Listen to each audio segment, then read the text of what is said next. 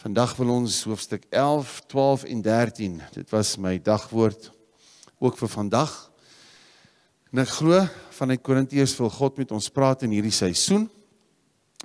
En uh, kom ons kom ons geniet dit God se woord en ons ontvang dit uit sy hart. Amen.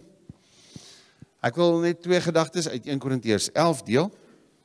1 Korintiërs 11 vers 1. Almal sê 111. Ons gaan dit onthou nê. Nee. 1 Korintiërs 11 vers 1. Daar's actually vier ene in daai ene. En dit is wees my navolgers soos wat ek Christus navolg. Almal sê wees my navolgers soos ek dit ook van Christus is. My broer, my sussie, so moet jy kan kan praat met vrymoedigheid met mense om jou, met mense by die werk wat jy vir hulle kan sê, volg my. Want as jy my volg, gaan jy ook Christus kan volg.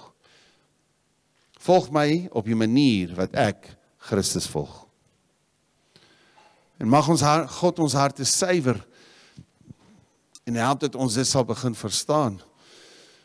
Want so maklik kan ek volg en dit beteken nie net mense moet my volg soos ek Christus volg nie, maar ek moet ook mense volg soos wat hulle Christus volg. Supergeestelik beteken dit dis net ek en die Here. Maar in realiteit is die God wat jy dien sê hy jy moet so leef dat mense jou kan volg. Maar jy moet oop wees om ander te volg wat my volg. Amen. En vertroue tussen kinders van die Here is nogal 'n wat jy Afrikaans vir issue baie keer. Dis nogal 'n uitdaging baie keer. Want ons kan maklik vingers wys. Ons ons kan maklik mekaar seermaak. Ons kan maklik teleurgesteld wees in mekaar. Ons kan maklik verwagtinge hê en aan die en die ander persoon het nie aan daardie verwagting voldoen nie. Maar tog moet ek ergens die geloof vind om God se woord te kan gehoorsaam. Dat ek bereid is om iemand te volg. En ek gaan foute sien in die persoon. Maar ek moet kan erken dat daardie persoon, daardie leier, daardie daardie een wat saam met jou op pad stap, dat hy Christus volg. Hallo? Is ons met mekaar? Want jy het genade ook nodig om vir mense te kan sê, "Volg my." Soos wat ek Christus volg. Nie soos wat ek my opinie volg nie. Nie soos wat ek my offense volg. Nie soos wat ek baie keer myself kan wip nie. Dis nou nie een van julle nie, maar ja. Maar ek moet daai uitdaging kan vat. Mense volg mense, dit is net outomaties. Dis nou nie monkey see monkey do nie. Geef my meer 'n Christelike een. Ehm um, ek weet nie wat 'n uh, een jy moet daarso in plaas nie. Maar behoed my sis, ons kan so maklik ons godsdienstige opinies volg.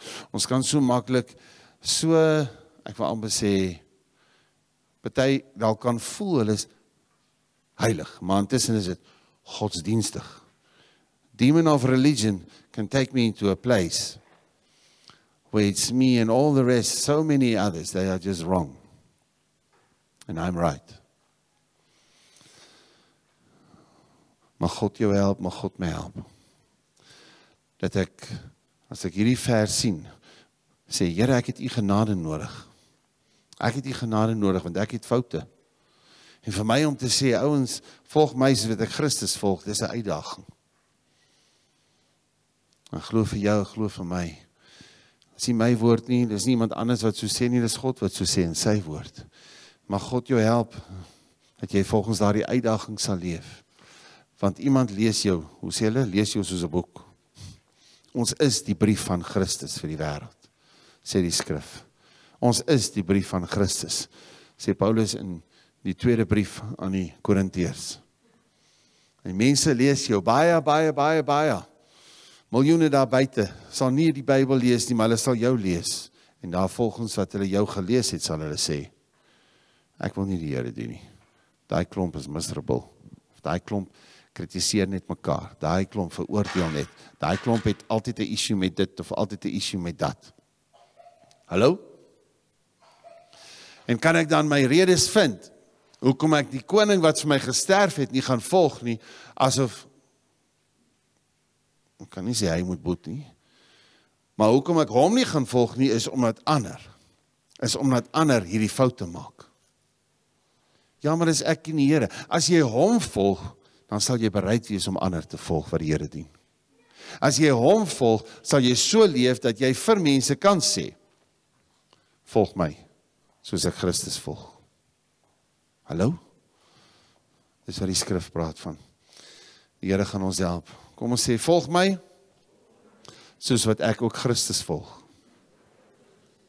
Ek sal ander volg wat Christus volg. Amen.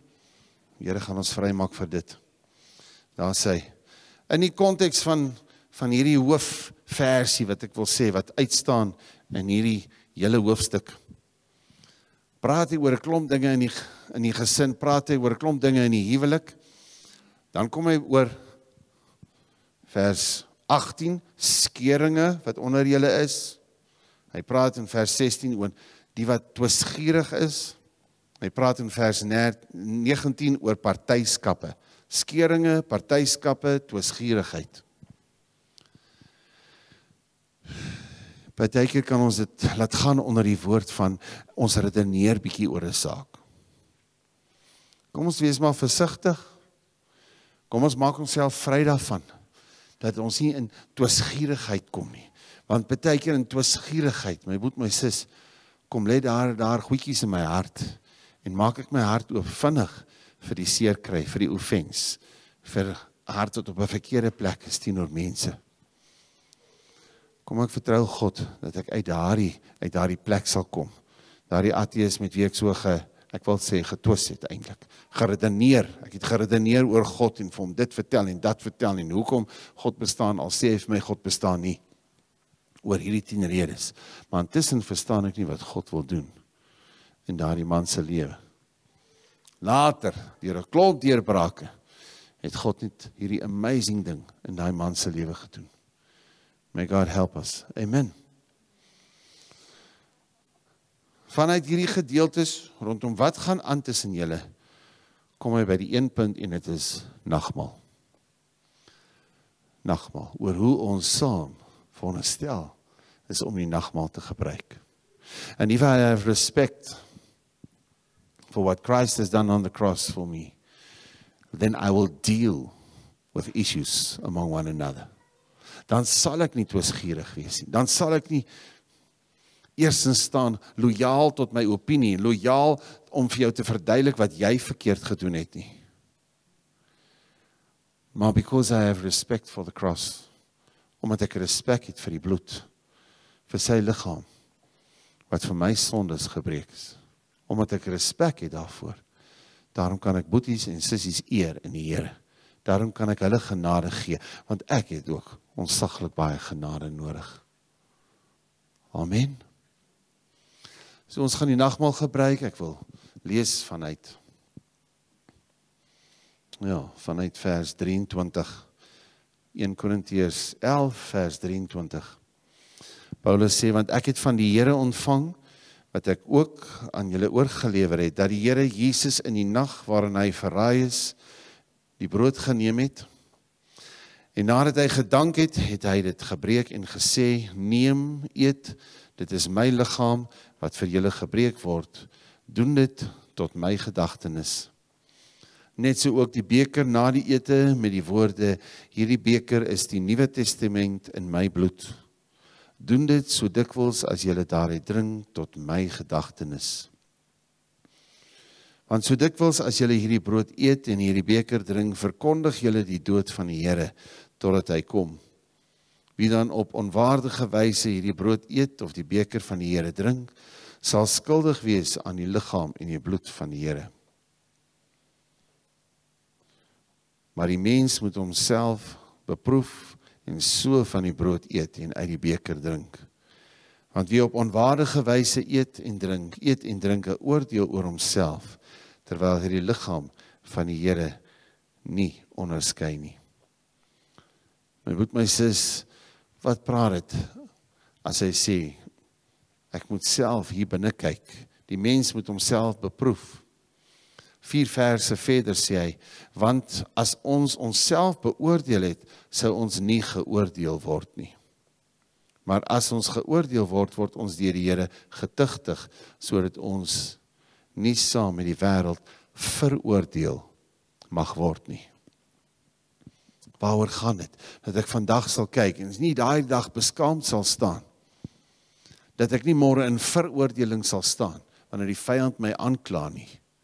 Maar daardie aanklag van die vyand, die gesag van daardie aanklag is gebreek as ek verstaan om vandag vir myself te sê, kom ek beoordeel my lewe.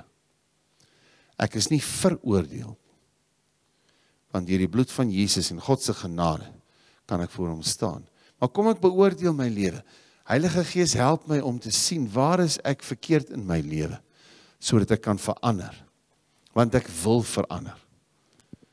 Want anders môre vind daai aanklaer my oor daai foute wat ek en jy maar weet wat daar binne is.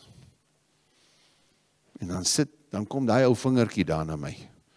En dis waar selfregverdiging moet inkom of dis waar ek oorsensitief is of dis as iemand vir my sê hierdie ding is verkeerd, dit moet verander wat ek my 'n heilige wip kan gee dalk. Hallo. Maar as ek myself beoordeel, dit kom van 'n plek van nederigheid. Dit kom van 'n plek van waar ek leerbaar is. Waar ek sê Here, wys my waar ek moet verander. Nie sodat ek nie meer in die in die moeilikheid is nie. Not so that I'm not in trouble anymore. Nee, ek is in Christus. Maar omdat ek meer van U wil leer ken, omdat ek meer wil hê hierdie waarheid moet my vrymaak, omdat ek hierdie woord in my wil laat lewe. In die boek Petrus die brief wat Petrus skryf aan die gemeente waar hy ook sê dat die woord in my lewe. Praat ook van in aan die brief brief aan Kolossense dat die woord ryklik in my sal wees en sal lewe. The word must be alive in me must richly dwell in me dat die woord woning gemaak het in my dis nie informasie hier nie. Nee dit maak my fariseer. Dit is die letter wat dood bring en veroordeling bring. Mag daar dood en veroordeling wees oor my vlees? Ja. Hallo. Maar wag mag die woord ryklik in my leef dit leef in my. Wanneer jy daai woord lees, moet dit meer lewe bring. Wanneer jy klaar die woord gelees het, wanneer jy die woord vandag hoor, wanneer jy die skrif hoor wat gelees word, moet dit meer lewe in jou bring. Amen. Ek sê mag God oor jou waak, mag die Heilige Gees so oor jou wees dat wanneer jy betrokke is, when you are involved with the word. Dis nie net ek lees die inligting nie, maar ek is betrokke by die woord van God dat dit in my sal lewe. Kom ons sê ek sal betrokke wees by die woord. Die woord sal in my leef. Will richly dwell in you. Mag dit so wees in Jesus naam. Mag dit so wees in Jesus naam. Ons gaan die nagmaal bedien. As ons van die leiers kan kry wat die mense bedien om deur te gaan asseblief. En uh ons wil vra dat die kinders ook by die by die ouers kan kom en dat die gesinne kan saam nagmaal hê, julle kan opstaan en selfs op 'n ander plek gaan sit, maar as die gesinne saam nagmaal vanmôre kan hê omdat ons God dank vir wat hy vir ons gedoen het. Deur die bloed, deur die liggaam sien ons ook die tugtiging van God.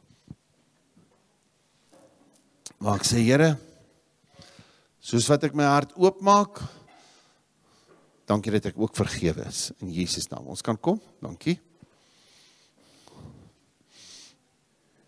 Vra dit die wat hier so is as besoekers, as jy weet jou saak met God is reg, saak is God is is reg met ander mense, dat uh, is jy welkom om saam met ons die nagmaal te gebruik. Maar kom ons eer die liggaam van Christus. Laat ons dit met respek doen en seker maak dat ons harte daar nie dingetjies is teen teenoor boeties en sissies in die Here nie. Amen. Daar sê. Ons sê haleluja. Haleluja.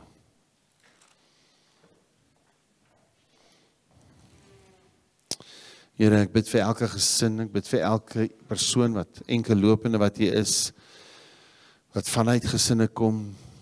Bid dat Heilige Gees dat U sommer nou net 'n ding doen. Here, dit is nie 'n ritueel wat U vir ons gegee het nie, maar dit is 'n verklaring in die Gees. En dankie Here, dit is 'n verklaring van deurbrake. It's a covering of your protection. It's a declaration of your victory for us in our lives dat ons weet ons het oorwinning omdat U oorwin het.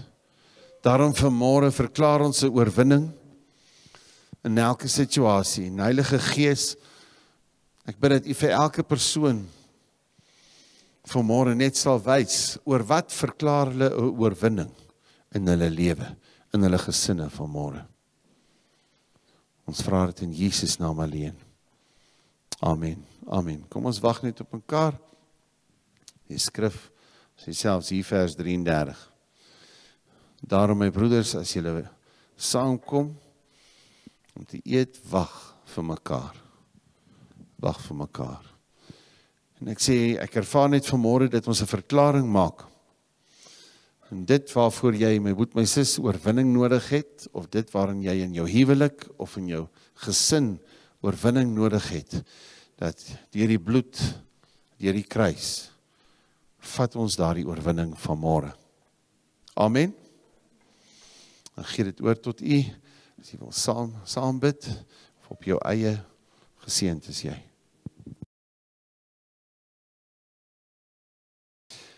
Goed, my boet my sis as Paulus die fondament lê om te sê die skeringe, hierdie twis, hierdie goedjies moet nou dit moet gaan.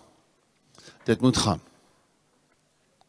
En hy seël dit met die met die faset van die nagmaal en sê hoe gaan julle die nagmaal gebruik? Nou kom hy by ver hoofstuk 12 en dan gaan hy in hoofstuk 13 wat wat sentraal is tot tot baie waar God sy hart openbaar het deur Paulus aan die gemeente maar ook so ook vir ons vandag. Maar in hoofstuk 12 hanteer hy dan die gawes nadat hy die fondament gelê het oor hoe dit gaan oor Christus en sy bloed en vergifnis sonder twis en partyskappe maar ons mekaar sal eer. Dan praat hy verder van die gawes.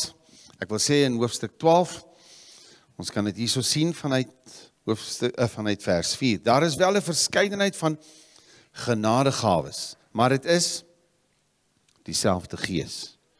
Daar is 'n verskeidenheid van bedieninge en tog is dit dieselfde Here. Daar is 'n verskeidenheid van werkinge en tog is dit dieselfde God wat alles en almal werk. My boet my sis baie keer dan sal jaloesie. Tussen mense oor hierdie ene wat dit kan doen, daai ene wat dit doen, hierdie ene wat hierdie geleentheid het, daai ene nie. Hierdie ene wat sommer net so hand op lê en dan se mense genees. Hierdie een wat so skerp is in die gees. Elkeen 'n unieke rol. Hierdie een wat hierdie hoë posisie het daarso in die daar buite en wat weet hoe om hierdie miljoene miljoene te kan maak. Hierdie een wat in absolute eenvoudigheid, as ek kan sê, eenvoudigheid as 'n mens sê finansiëel. Maar daai een wat die miljoene maak, kan ook in 'n onsaglike eenvoudigheid eintlik leef. Maar hoe evalueer ons mekaar as boeties en sissies? Eerstens, dis een Here. Jou Here, my Here. Dis een God. Dis een Gees. Dis wat hy sê. Daar's verskillende genadegawes, een Gees. Hallo, daar's verskillende bedieninge, een Here. Daar's verskillende werkinge, een God. En dan gaan dit in daai situasie primêr nie oor dat jy jou hart moet uitsorteer met die ander persoon nie, maar dit begin eersins oor gaan jy God eer dat hy die God is oor elkeen. Dat hy die Here is. Dat dit die gees van God is. So die gees van God Hy is ook Here. Ja, hy is God self. Mag God jou help, my broer, my sis, dat ons sal verstaan dat God die senterpunt sal wees van ons lewens. En dat as ek na my boetie kyk, na my sussie kyk, dat ek eersins onthou God wat bereid is om in hulle te woon. Wie is ek om hulle te oordeel? Wie is ek? Wie gee my die reg? Watter troon het ek bo God se troon om hulle te oordeel? As die een wat op die troon sit sê, ek vergewe en ek het 'n begeerte om in hulle te leef en met hulle te wandel. Maar God ons arresteer met nederigheid. Want in nederigheid is daar 'n wysheid wat ek van bo kan ontvang. In nederigheid is dit God se gawes wat deur my kan vloei. Kan dan neerskryf nederigheid, nederigheid is 'n sleutel.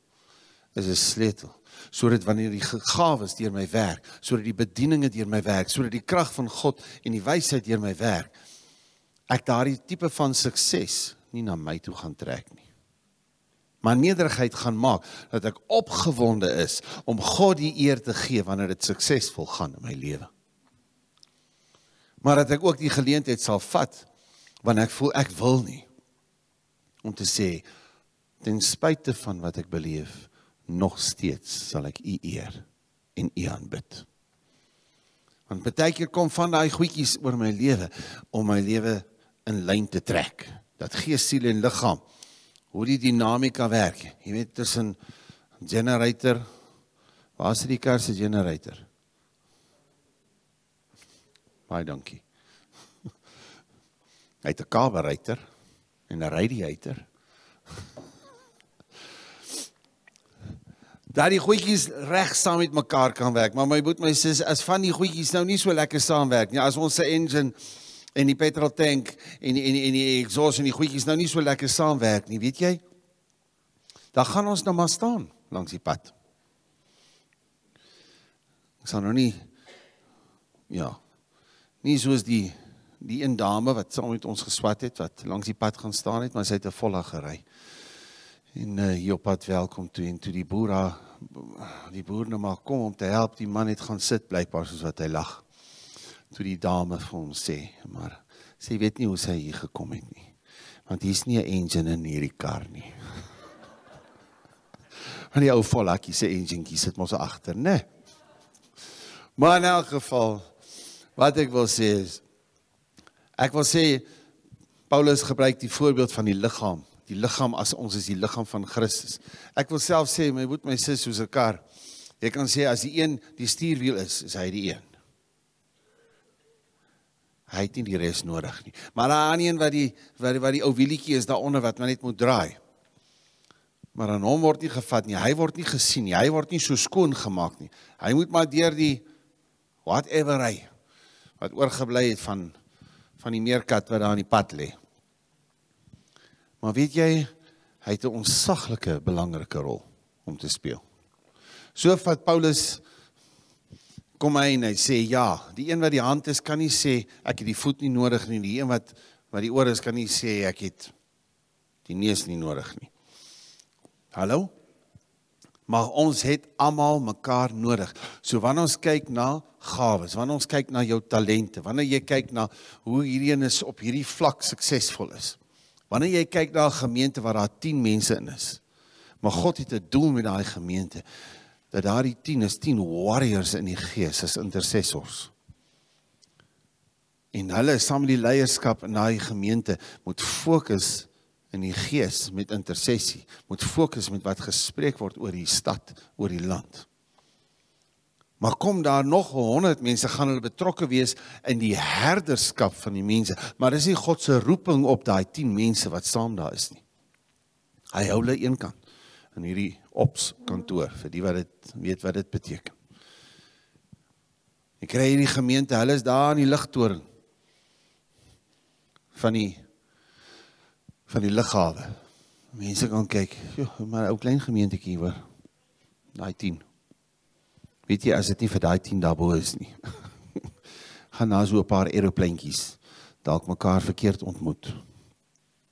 Ja, die vlieënier, absoluut, absoluut. Maar jy sien nooit daai ouens daarbo. Jy gaan hulle nie sien nie. Jy is nie bewus van hulle nie. Maar hulle moet eenkant wees, hulle moet afgesonder wees. So in die liggaam van Christus kan gemeentes, kan ons kyk na gemeentes, maar ons kan so in die vlees kyk. In die vlees kyk. In plaas om mekaar te waardeer, plaas om mekaar te respekteer. Daar die ouetjies wat jy nooit sien wat die wat die wat die wat die bagasie moet seker maak dat ek bedoel my broer van hierdie liggawes met hierdie miljoene wat daar deurvlieg en hoe daai bagasie by die regte plekke kom en met aansluitingsvlugte by die volgende en by hierdie en by hier daar daar in daai land. Jojo. Daar's maar 'n paar ouens wat moet wakker wees. Julle is met my. Maar te veel in die liggaam van Christus, kom ons sê in die verlede nie meer in die toekoms nie. Selfs met die ou bagasie. Ons kan eerder sê almal, jy weet, die ouetjie sit met baggage, verkeerde baggage, met die ander ou se baggage moet ons meer wakker kan wees. Ons moet meer wakker kan wees van hierdie hierdie bagasie moet soontoe gaan. Hierdie gebed waar ek oop is in die gees en ek voel net in my gees ek moet bid vir Italië. Of ek ervaar net miskien moet ek iemand bemoedig wat van Hongarye is.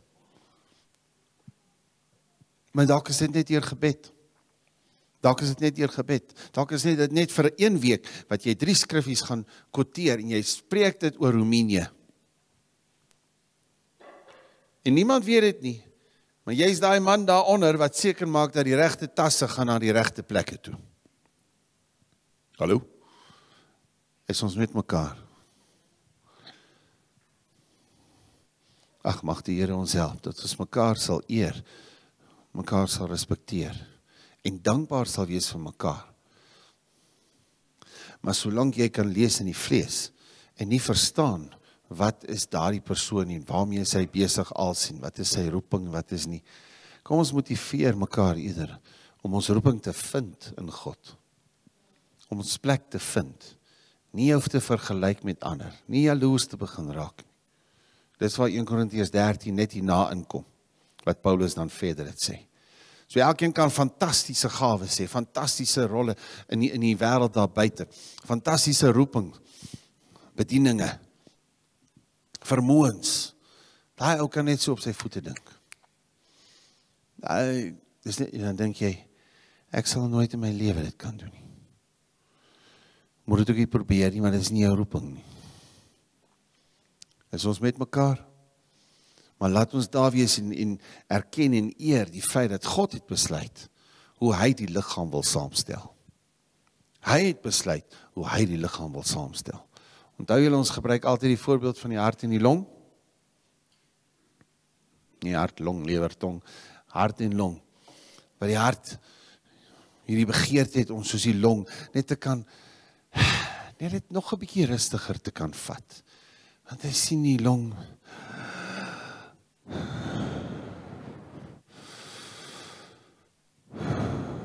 Maar nou vra ek jou, is die hart wat doef doef doef doef doef doef gaan doef doef. Dan sê jy bye bye sien in die hemel. Daai ou is gone maar die een hoekom kan dit nie so eerder wees nie of die long dit is bietjie boring partykeer jy weet ja die ouens met die hart hulle hulle sien 'n klomp dinge en daar's daar's 'n vloei intens. Toetoef. Toetoef. Toetoef. Hulle het hierdie in die long in die hart wat voel, ag, hierdie ou klomp wat net so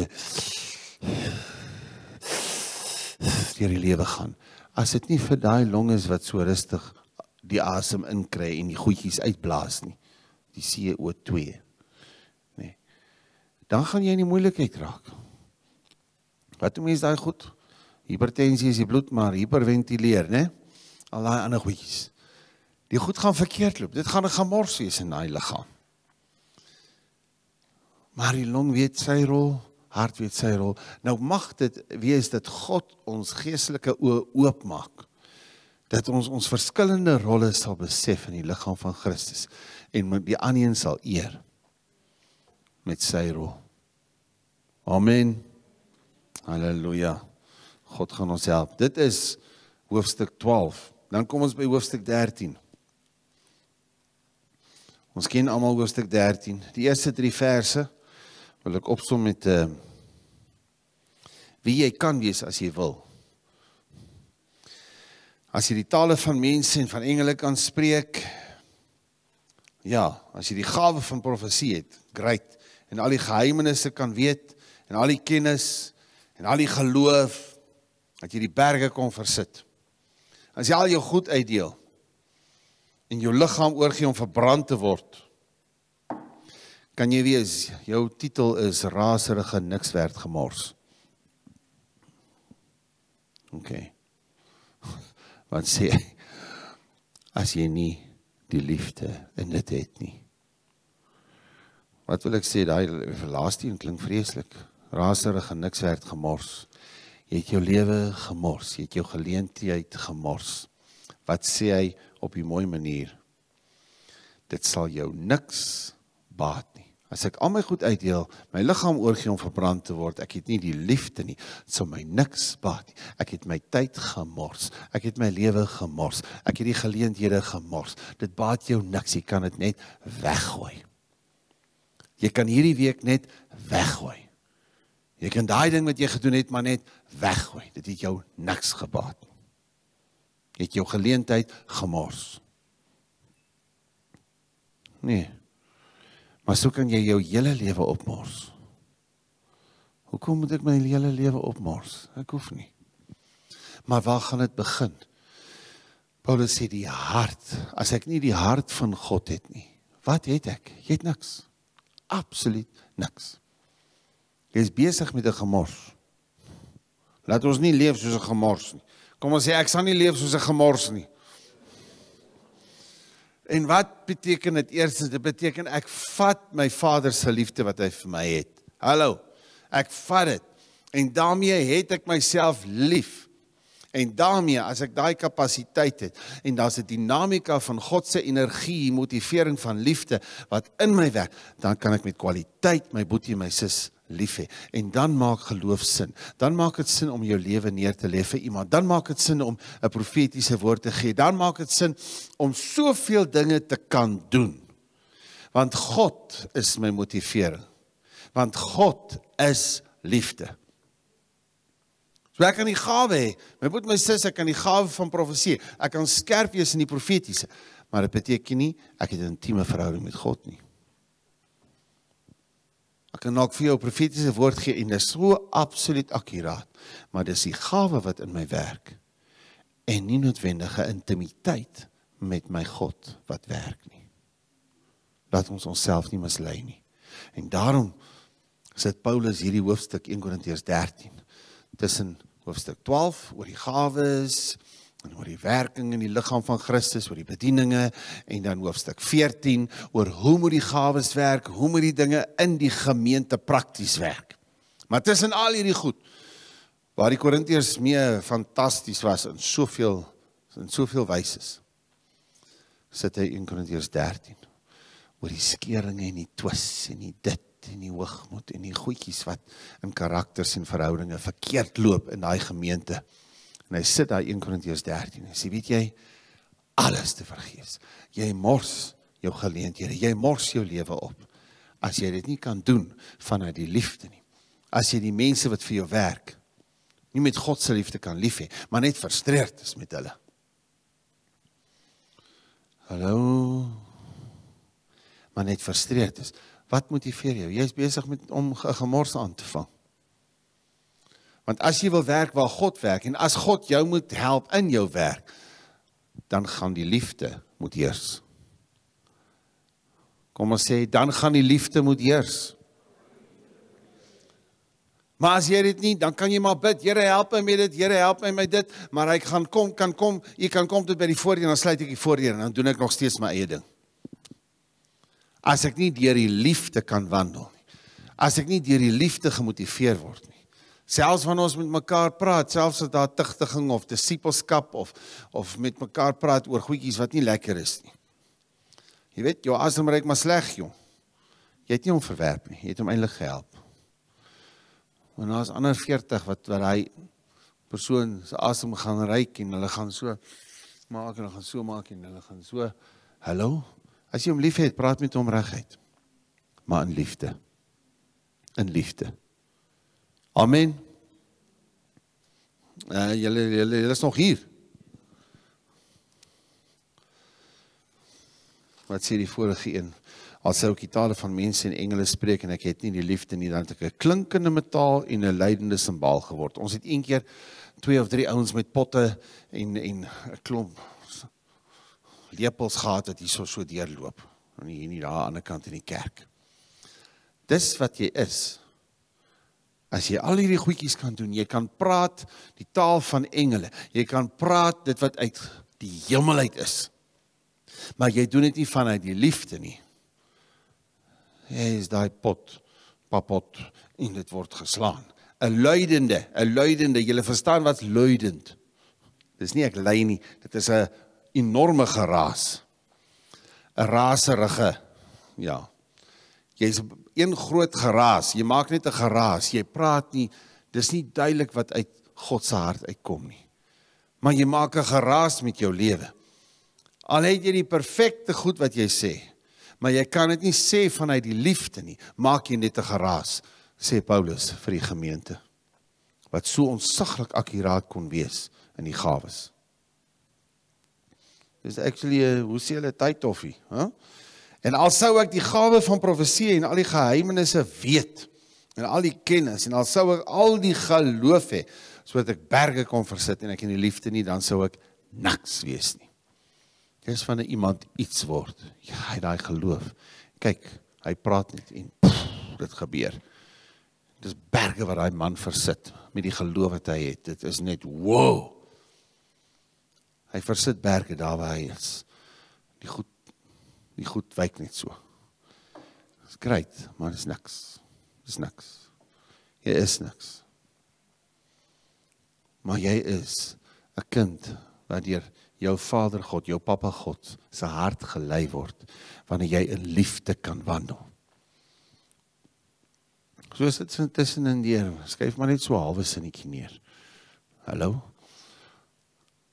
Maar as jy met my Mag God se liefde jou dring, my boet, my sis. Mag hy net soveel meer werd wees, daardie liefde wat in jou leef as die isuki. As die sukses wat jy behaal, dat die sukses en die gawes nie 'n vloek word in jou lewe. Maar dit het altyd 'n dienaar sal wees vir die liggaam. Dit moet als nuttig wees. As ek net by ekskuus in hoofstuk 12. Nou moet ek seker uitvind wat ek hier geskryf het, nê. Nee. Vers 7. Maar aan elkeen word die openbaring van die Gees gegee met die oog op wat nuttig is. Nie nuttig vir jou, nie nuttig vir jou net om 'n sukses te maak nie, maar nuttig vir die liggaam van Christus. God wil aan jou openbaring gee. God wil aan jou gawes gee. God wil aan jou vermoëns gee maar dat jy dit gebruik op met die oog op wat nuttig is vir die liggaam van Christus. Dit beteken nie net o, gee jou tiendes en jou offergawes nie. Dit beteken met dit wat jy het, bou jy God se koninkryk. Word sy naam vereer deur dit wat jy doen. Deur dit wat jy bid. Deur dit wat jy glo. Dit wat jy daar buite leef praat nie net van wanneer ons by mekaar kom om mekaar te versterk en in die woord gebou te word sodat ons nog meer effektief daar buite kan wees wanneer ons daar buite saam met God wandel. Praat nie van wanneer ons gebou word. Hierso moet ons gebou word sodat die lewe wat ons leef daar buite 'n lewe is waar ek sê volg my soos wat ek Christus volg. En jy sit hier so die een wat fokus yes of jy sit hier so in die diens. En hoe meer jy fokus op ander goedjies.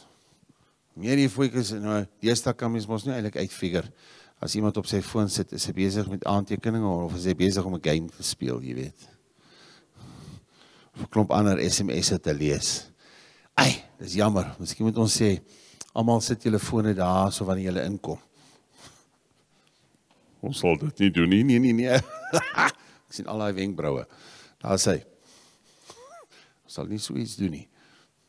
Wat ek sê my moet my sis wanneer jy die woord hoor dat ek is wakker want ek wil hê die woord moet in my leef.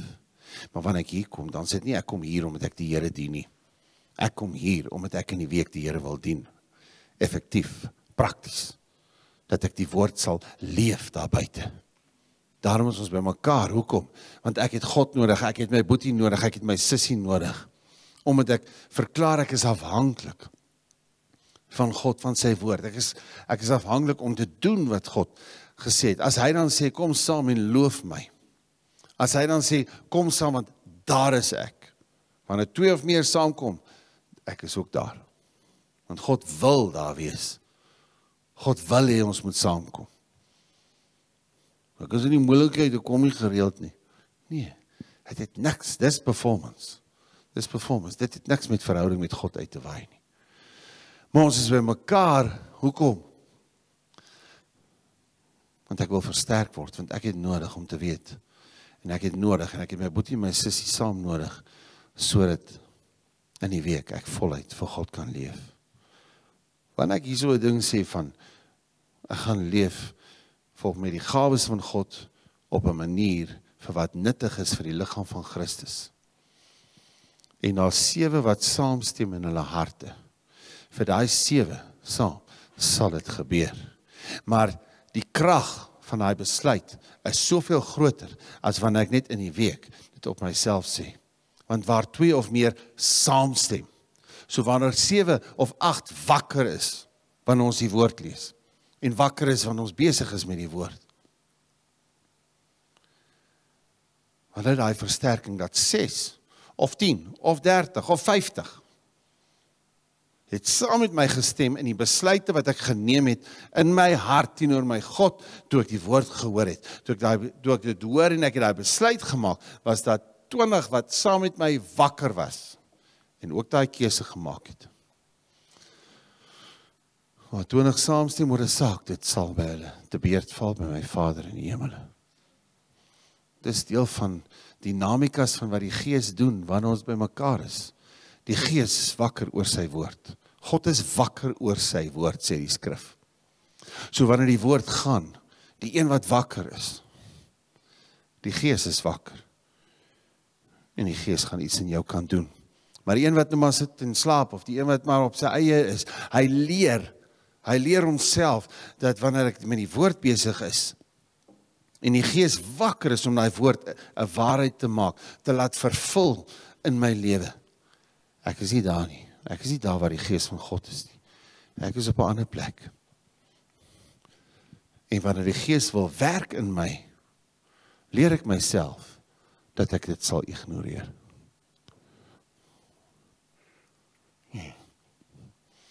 Dis 'n tyd van fokus. Ouens, dis 'n tyd wat jy die wakkerste moet wees. Ek weet nie alraai, toe ek jonger was, was dit 'n tyd wat jy lekker so half slaperig geraak het, nee. Nie julle nie. Was net ek vertel maar net van my lewe. Maar dis die tyd wanneer jy die wakkerste moet wees. Wanneer boeties en sissies saamkom in die Here en die woord oopmaak en die Here aanbid. Laat dit so wees in Jesus naam, in Jesus naam. Amen. Ek sluit af. Wat sê hy dan die gedeelte wat ons ken?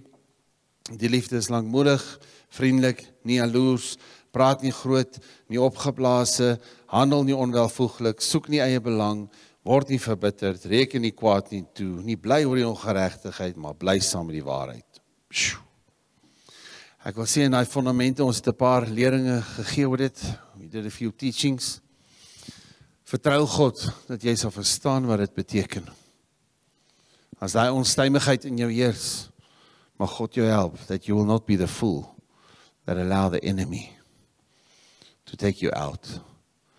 Dat jy net jou tyd mors, die geleenthede wat God vir jou gee mors omdat jy nie bereid is om met God se motivering, God se energie, die energie van God in jou lewe, is daai liefde wat jou dring, wat jou dryf. Dat jy dit sal toelaat en die fondasie, soos wat hierdie punte so op mekaar bou, fondasie in dit eerste een is lankmoedigheid. Lankmoedigheid.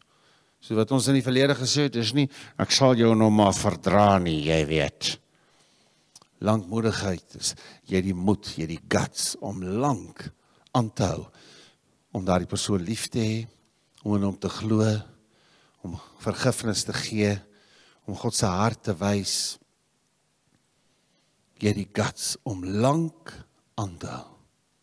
En net te sê, nou genoeg is nou genoeg. Dis nou genoeg van God se liefde. Ons sit nou daai liefde nou eenkant. Nou gaan ek iets anders te sê. Genoeg van God se liefde vir jou. Sit dit nou eenkant. Nou gaan jy ietsie van my hoor. Ag Here help my. Paar van julle sê dit ook. Lankmoedigheid, lankmoedigheid, die fondasie. As ek waarlik lankmoedig is, dan is my vriendelikheid nie nie fake.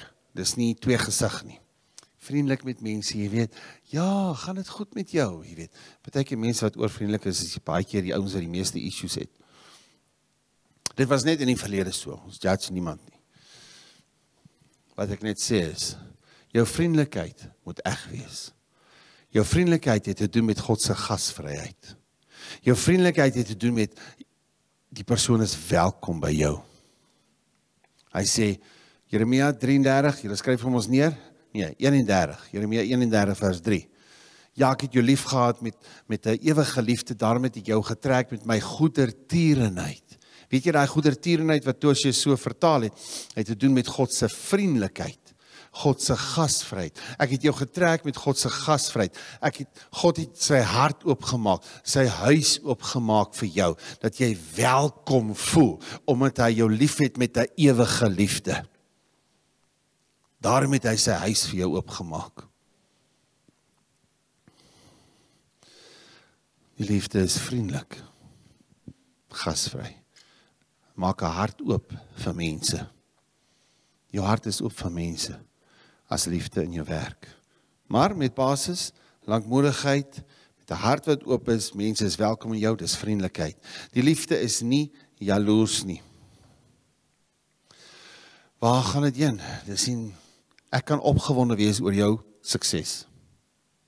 Ek is opgewonde dat dit met buurman goed gaan. Ek is opgewonde oor God se genade oor ander mense wat ek voel hy verdien nie eintlik die genade nie. Het boontjie kry sy lontjie. Daar's toe nou nie so skrif nie. Hallo? Hy's nie jaloers nie. Daai jaloesie, my boet my sussie se energie. Daar was 'n jaloesie wat die eerste twee boeties op aarde, die eerste twee boeties, die eerste twee boeties, jaloesie oor die offer wat aanvaar is en die offer wat verwerp is. In plaas daarvan, Here wys my hoe moet die offer dan wees? Jy sien 'n boetie en dis net absoluut sukses en jy kan nie verstaan hoekom hoe kan hy sukses sê en jy nie? Hoe kan daai ou al daai goed beleef en jy nie? En jy vra Here, wat wil U vir my sê? Kain, wat van Here, wat wil U vir my sê? God praat met hom. Sonder dat hy na God gegaan het, kom God na hom in God se genade en sê die sonde lê en loer om die deur. Nie dis nou jou einde nie omdat jy jou gewip het en 'n verkeerde offer gebring het. Nee. Die genade is daar, Kain. Die sonde lê en loer agter die deur. My boet my sis, wandel in jaloesie. Vergelyk jouself met ander en dan kry jy ietsiekie oor die ander wat so geseënd is of die ander wat wegkom met sekere dinge. Hallo. En hy, en jy wil jou daai geregtigheid nou geskied met daai persoon. Hallo. Sê vir daai kaien gees ding wat naby jou kom, jy sal gaan. Jy sal gaan, jy gaan nie my lewe en my kinders se lewe vernietig omdat ek met 'n issue van jaloesie sit nie. Nee, die God se liefde gaan jou beskerm teen daai jaloesie. Ja, ek moet my vrek werk en, en dis wat ek moet doen. Ek kry nie eens 'n dankie noodwendig nie en, en kry nie eens al hierdie geld nie en daai ander ou hy werk omtrent niks nie en hy kry al hierdie geld en ehm um, as jy jou lewe wil vernietig, goed, die sonde lê en loer om die deur. Bring jy daai jaloesie in jou hart, die sonde lê en loer agter die deur, want hy hy dag op agter die deur, want hy het hoop, hy het geloof, hy's excited, hy gaan jou vang. Want hy sien jy trek hom met daai jaloesie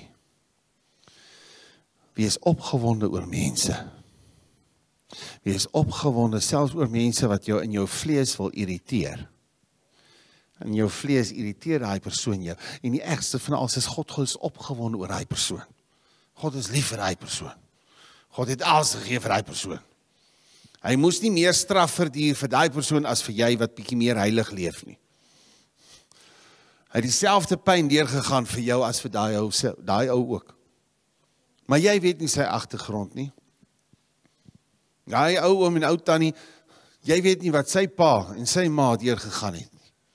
En wat hy daardeur gegaan het, wat jy nie weet van hoe om liefde te wys, hoe om sekere dinge te beleef nie. En vandag hoor ons woord op sekere manier wat baie ander ouens nie gehoor het nie. Wie is jy dan wat 'n ander oordeel? In plaas daarvan om sê dankie Here vir u goddelike genade dat ek waarhede kan sien van u woord. Hallo? En dit kan leef vandag. Amen. Ek haas my wat sê hy? Dis hulle sê dit is half. Staf 11. Goed. Ons gaan vir 'n landing. Maar die liefde is lankmoedig, né? Daar sê. Die liefde praat nie groot nie. Die liefde praat nie groot nie van wat ek kan doen. Ja, ek kan hierdie ding doen. Die ander kan dit nie doen nie. Nou is hy geïrriteerd van daai ou breek so. Baie keer die ou wat breek is omdat hy so voel in sy hart. Hy voel soos 'n ertjie. Nou praat hy hierdie groot klomp pampoen stories. Sy hierdie groot Maar intussen, wat van jy praat nie groot nie. Wat van jy praat die grootheid van God? Nie groot van jouself nie. Nie groot van rondom jouself oor jouself nie. Maar wat van jy praat die grootheid van God? Wat van jy praat die waarheid? Ons praat nie van eerlikheid nie. Ek sê vir jou die waarheid, daai man is so en hy so en hy so en hy so. Nee, ek sê vir jou eerlik, daardie persoon is so en so en so so. Maar die waarheid is, God het 'n plan vir hom. God is lief vir hom. God wil hom genade gee. Here, stort u genade oor hom uit. As dit nie vir u genade is nie, is ek 10 keer erger as wat daardie persoon is in daardie gemors. Met daardie gemors wat hy aanvang. Ek sal die waarheid praat. Ek sal nie groot praat nie. Wat jy is, is God se genade.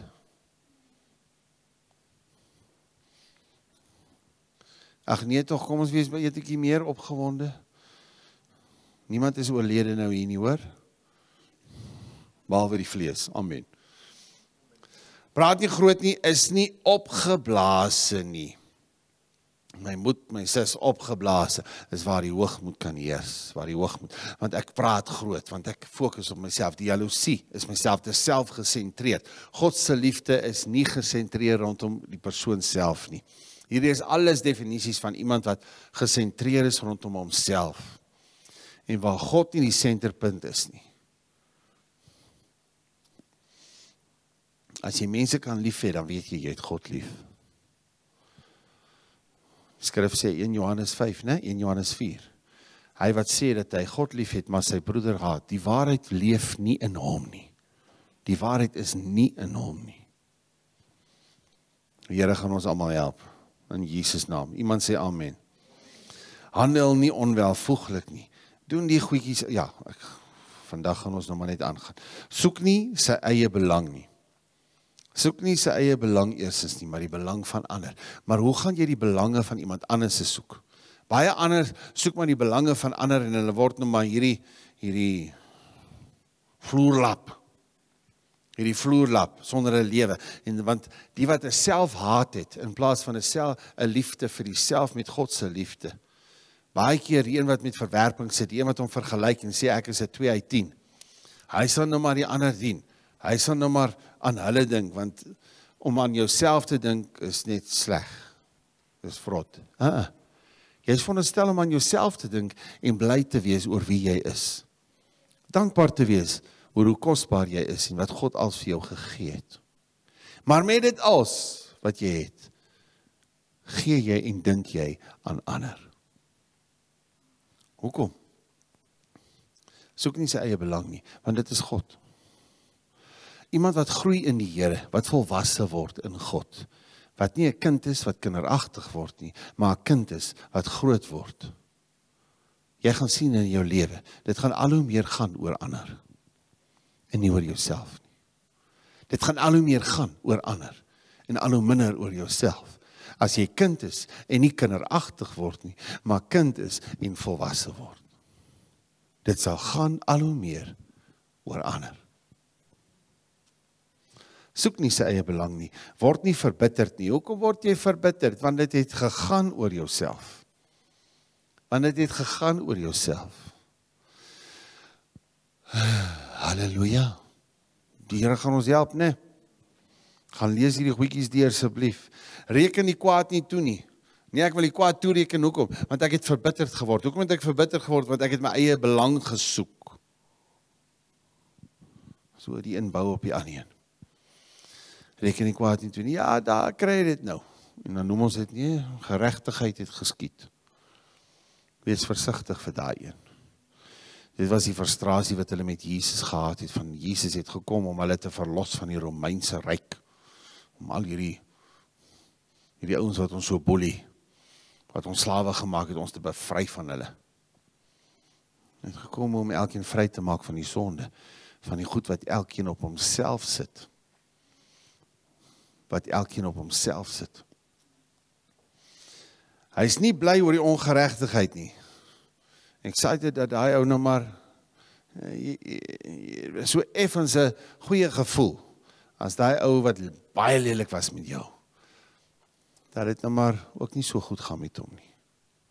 Want daai ou wat vieslik was en hy het jou geboor en jy het klomp geld verloor en daar gaan dit goed met hom. Hm. Wat gaan in jou aan?